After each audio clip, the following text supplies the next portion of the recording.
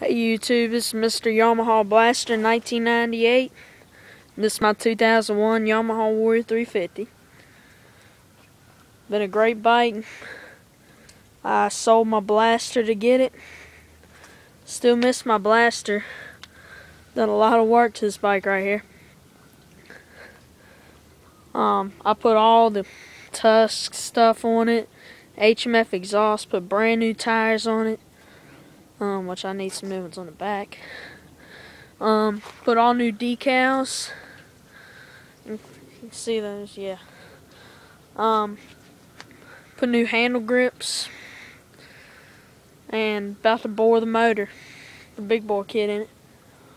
And um, I plan to get some pointy fenders, but I don't know if y'all could just comment and tell me if I should or not or just buy stock ones again because you can see right here the dude owned it before me did not take very good care of my fenders.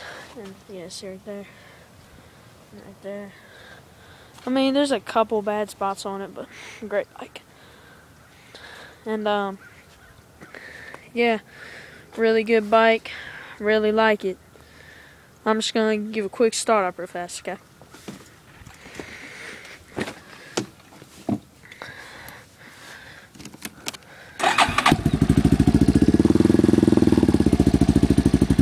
Sounds good.